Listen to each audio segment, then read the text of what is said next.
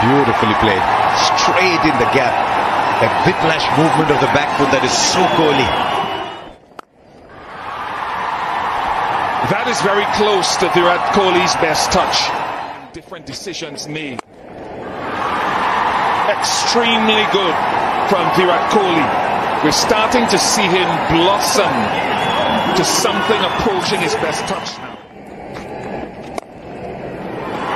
First 50 of Dream 11 IPL 2020 But Virat Kohli, the RCB captain, and he can smile.